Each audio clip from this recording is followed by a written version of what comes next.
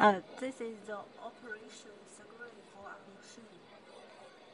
First choose IPL and uh, this is the screen SR handle.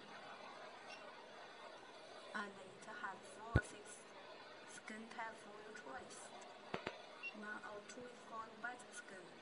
Three or four is for Asian skin and five and six is for black skin. When your our machine reset suggested parameter in it, when you choose different skin type, it will show the parameter automatically. Usually it don't need you just to uh, usually it don't need you to adjust the parameter by yourself. Let, let me see. This is web vascular remove.